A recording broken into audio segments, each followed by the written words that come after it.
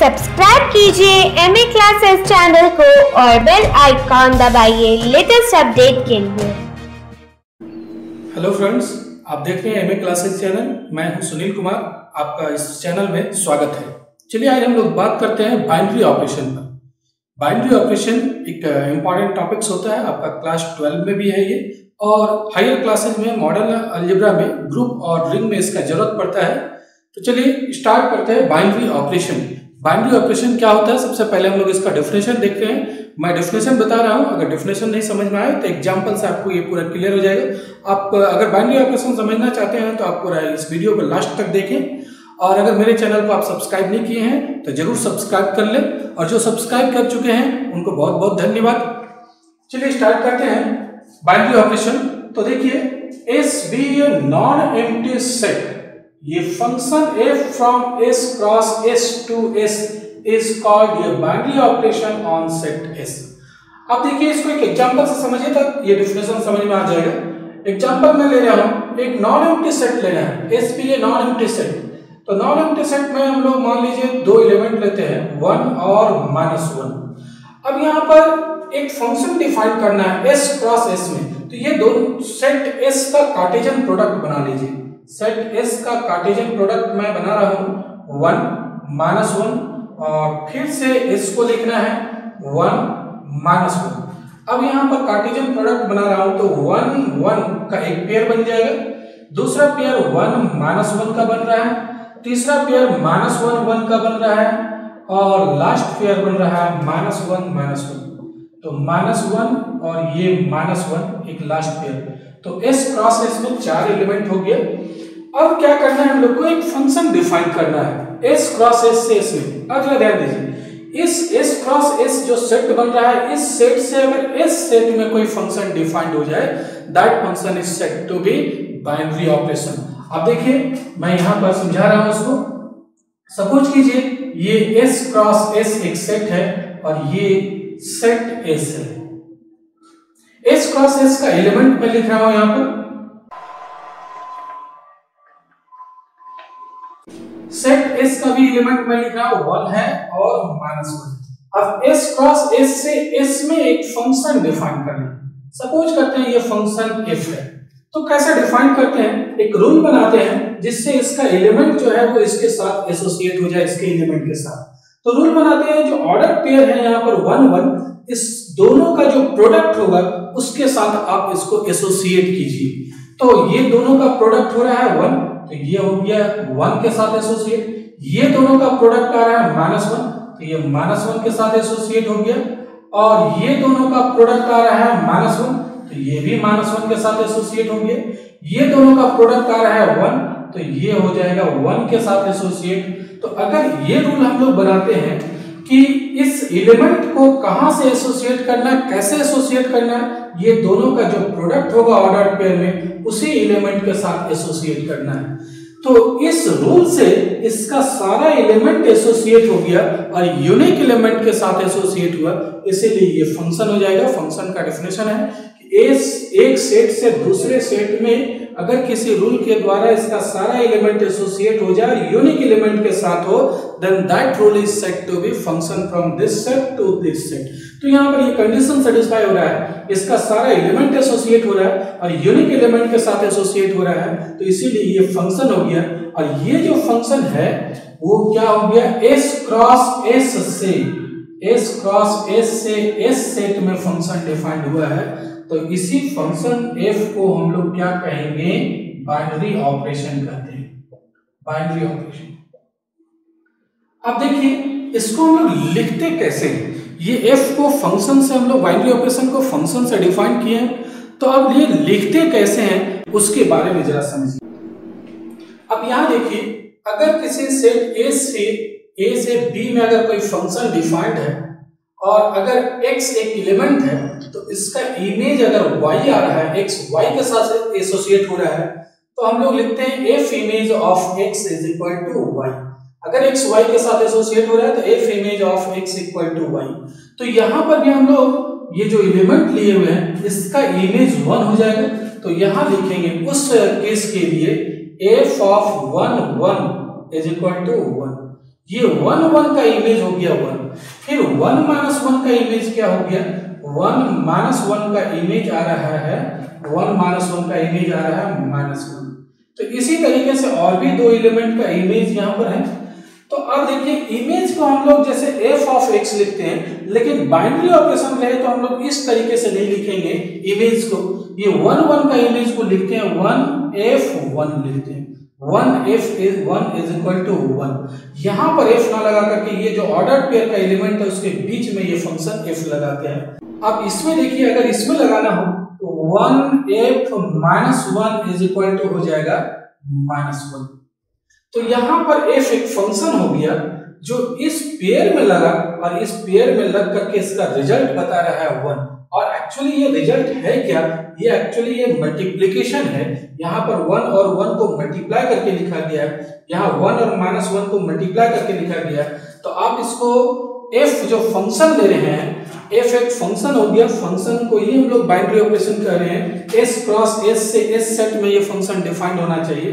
तो फ़ंक्शन को एफ़ से ना डिनोट करके बाइनरी ऑपरेशन को एफ़ से ना डिनोट करके हम लोग ये मल्टीप्लीकेशन से डिनोट कर रहे हैं। यानी कि ये जो है वो एक फ़ंक्शन f के बदले मल्टीप्लीकेशन लिख रहे हैं। S क्रॉस s से s में डिफाइंड है।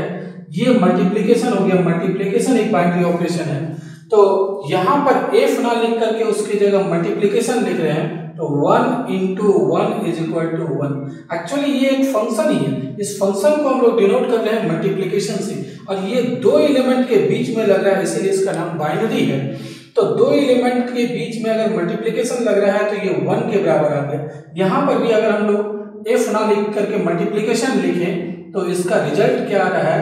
माइनस वन अब जरा ध्यान दीजिएगा तो ये जो एफ़ जो फ़ंक्शन होता है function F S cross S से एस सेट में जो फ़ंक्शन होता है, जिसको हम लोग बाइनरी ऑपरेशन कहते हैं तो ये फ़ंक्शन अगर ऑर्डर पेयर में लगता है, दो एलिमेंट के बीच में ये लग रहा है तो उसका जो रिज़ल्ट है वो भी एस का ही मेंबर है। तो यहाँ पर आप देखिएगा एस क्रॉस एस का एक एलिमेंट लेना है, उसके बीच में हम लोग बाइनरी ऑपरेशन लगाएँगे और बाइनरी ऑपरेशन लगाने के बाद जो रिज़ल्ट आएगा, वो भी एस का मेंबर हो गया। तो आप इसको इस तरीके से समझिए कि एस कोई सेट है वन माइनस वन इसका कोई भी दो एलिमेंट ले लीजिए, चाहे वो सेम एलिमेंट ही रिपीट क्यों ना करते वन और वन ही क्यों ना ले ले, इसके बीच में एक ऑपरेशन लगाते हैं। ये ऑपरेशन लगाने के बाद इसका जो रिज़ल्ट आएगा, वो भी इसका ही मेंबर आना चाहिए। Then this operation is called binary operation तो जो रिज़ल्ट है वो निश्चित रूप से आप ये ध्यान दीजिए जो रिज़ल्ट है वो यूनिक होना चाहिए और साथ में वो किसका मेंबर होना चाहिए एस का ही मेंबर होना चाहिए। मान लीजिए वन और माइनस वन हम लोग ले लिए वन और माइनस वन के बीच में हम लोग मल्टीप्लीकेशन लगाए और इसका जो रिज़ल्ट आया वो माइनस वन आया। तो ये जो दोनों, दो एलिमेंट लिए और उसके बीच में हम लोग ये बाइनरी ये ऑपरेशन लगाए। ये ऑपरेशन लगाने के बाद रिज़ल्ट भी इसी का मेंबर होना चाहिए और साथ में ये रिज़ल्ट यूनिक होना चाहिए, तब इस ऑपरेशन को हम लोग कहेंगे बाइनरी ऑपरेशन। तो आप ये कह सकते हैं कि बाइनरी ऑपरेशन एक ऐसा ऑपरेशन है जो सेट के किसी भी दो एलिमेंट के बीच में लगाने के बाद उसका जो रिज़ल्ट है वो यूनिक होना चाहिए और वो सेट एस का मेंबर होना चाहिए, तब उसको हम लोग बाइनरी ऑपरेशन कहेंगे। आप इसको एक एग्जांपल से, दूसरे एग्जांपल से मैं समझा रहा हूँ, उसको समझिए। जैसे मैं सेट एन ले रहा हूँ नेचुरल नंबर का set one two three four five dot dot कोई भी नंबर है नेचुरल नंबर यहाँ पर। अब हम लोग सारा नेचुरल नंबर का सेट ले लिए हैं। अब यहाँ पर इसका कोई भी दो एलिमेंट के बीच में आप प्लस लगा दीजिए। कोई भी दो एलिमेंट ले लीजिए, कोई भी दो नेचुरल नंबर ले लीजिए। तो उसका रिज़ल्ट निश्चित रूप से वो एक यूनिक नंबर आता है और ये जो नंबर आया वो खुद एक नेचुरल नंबर होगा। तो इसका मतलब प्लस जो है वो बाइनरी ऑपरेशन हो जाएगा। तो बाइनरी ऑपरेशन के लिए ये ज़रूरी है कि अगर सेट एस कोई है तो इसमें बाइनरी ऑपरेशन जो है वो मान लीजिए बाइनरी ऑपरेशन को हम लोग डिनोट करते हैं स्टार से, ये ओ से डिनोट करते हैं, इस तरीके से भी डिनोट करते हैं। प्लस बीच में लिख देते हैं, या मल्टीप्लीकेशन लिख करके घेर दीजिए, या फिर डॉट से भी डिनोट करते हैं। ये सभी सिंबल है बाइनरी ऑपरेशन का। ऐसे चार बेसिक सिंबल जो यूज़ करते हैं हम लोग, ये प्लस मल्टीप्लीकेशन और माइनस और डिवीज़न ये जो चार है, ये भी बाइनरी ऑपरेशन होता है कुछ सेट में, सभी सेट में ये नहीं है, लेकिन कुछ सेट में है। मैं बताऊँगा क्यों नहीं है और कैसे है, उसके बारे बारे में बात करूँगा अभी। लेकिन ये चार बेसिक बाइनरी ऑपरेशन है, चार बेसिक सिंबल है बाइनरी ऑपरेशन को डिनोट करने का। इसके अलावा बाइनरी ऑपरेशन को ये सभी सिंबल से भी डिनोट करते हैं। तो बाइनरी ऑपरेशन के बारे में आप समझिए ऐसे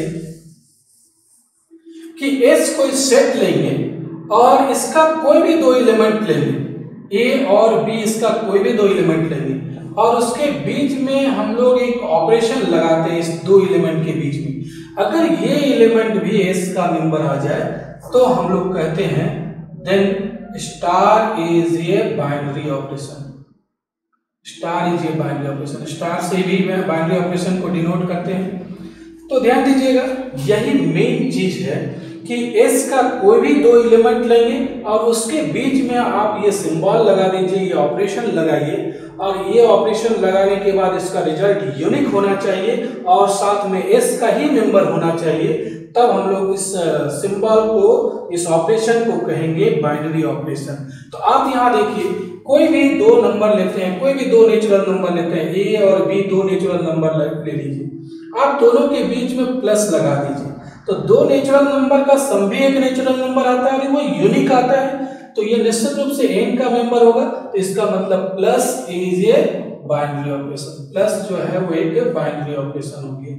लेकिन आप देखिए, ये जो है ए बी वो किसी के लिए भी होना चाहिए। For all A B belongs to N यहाँ पर जो ए और बी ले रहे हैं, वो for all A B belongs to S कोई भी दो मेंबर आप लेते हैं इस सेट का तो उसके बीच में प्लस लगाने के बाद इसका रिज़ल्ट उसी में आना चाहिए एन में तो इस प्लस को हम लोग बाइनरी ऑपरेशन कहेंगे। लेकिन क्या यही माइनस के लिए सेटिस्फाई होता है? जरा आप देखिए। मान लीजिए हम लोग थ्री और टू के बीच में माइनस लगाए तो इसका रिज़ल्ट तो एक नेचुरल नंबर आ गया। लेकिन अगर इसी को हम लोग उल्टा कर दें टू और थ्री के बीच में माइनस लगाते हैं तो इसका रिज़ल्ट आ रहा है माइनस वन रिज़ल्ट तो यूनिक है। लेकिन वो सेट एन का मेंबर नहीं है, यानी देयर फोर माइनस जो साइन है minus is not a binary operation not a binary operation on set N तो सेट एन में माइनस जो है, वो एक बाइनरी ऑपरेशन नहीं है। अब देखिए अगर हम लोग माइनस की बात करें और सेट को ही चेंज कर देते हैं, इंटीजर का सेट ले लेते हैं तो क्या ये बाइनरी ऑपरेशन हो जाएगा? चलिए इसके बारे में इंटीजर का सेट ले रहे हैं। अब यहाँ पर आप कोई भी दो इंटीजर ले लीजिए। ए और बी अगर हम लोग कोई भी दो इंटीजर ले लेंगे, और उसका for all A B belongs to I और हम लोग ए और बी के बीच में माइनस लगाते हैं तो दो इंटीजर का जो डिफरेंस आएगा, वो भी एक इंटीजर ही होता है। ये ज़रूर बिलोंग्स करेगा आई में।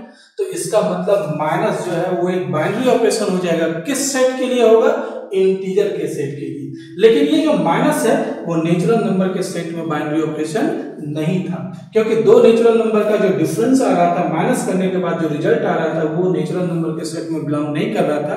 तो minus is not a binary operation on the set N but minus is a binary operation on the set I तो एक ही चीज़ है माइनस ही है, लेकिन वो अलग अलग सेट में, एक में बाइनरी ऑपरेशन है और एक में नहीं है। तो ऐसा हो सकता है, कोई भी सिंबल या कोई भी ऑपरेशन जो है वो बाइनरी ऑपरेशन हो सकता है किसी सेट में या नहीं भी हो सकता है। तो आप जरा देखिए, मैं मल्टीप्लीकेशन की बात करूँ क्या मल्टीप्लीकेशन इसका बाइनरी ऑपरेशन है आई सेट में?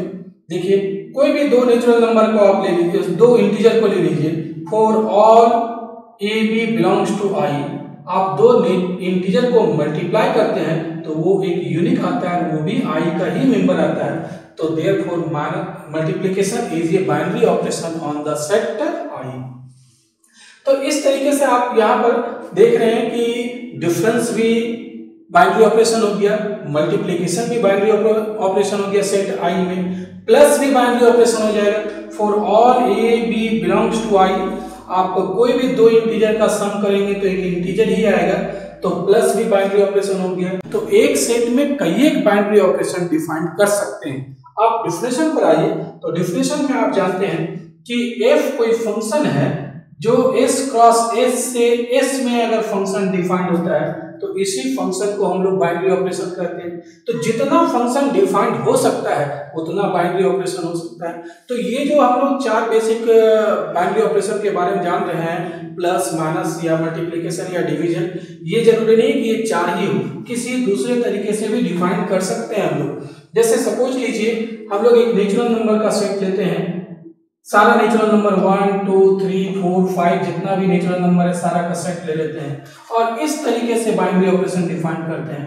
A star B is equal to A B A to the power B suppose कीजिए A to the power B यानी कि टू स्टार थ्री अगर इसका वैल्यू निकालना है तो two to the power three निश्चित रूप से ये बी जो है, वो एक एट आ रहा है, वो भी एन का मेंबर होगा। तो किसी भी नेचुरल नंबर का अगर पावर में भी नेचुरल नंबर करेंगे तो वो भी एक नेचुरल नंबर ही आएगा।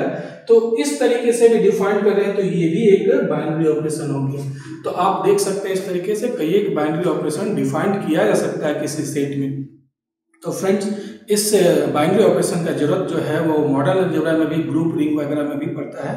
तो इसका यूज़ करेंगे हम लोग। मैं आगे जो है वो रिंग के बारे में एक सीरीज़ स्टार्ट कर रहा हूँ। रिंग के बारे में आपको मैं यूट्यूब के चैनल में इसका अपलोड करूँगा। तो आप उसको देखते रहिए। और अगर मेरे चैनल को सब्सक्राइब नहीं किए तो आप ज़रूर सब्सक्राइब कर लीजिए। नीचे आप देख रहे हैं गोल सिंबल आ रहा है, उसको आप टच कीजिए, आप सब्सक्राइब कर लीजिए उसको। और इस वीडियो को देखने के लिए आपको बहुत बहुत धन्यवाद।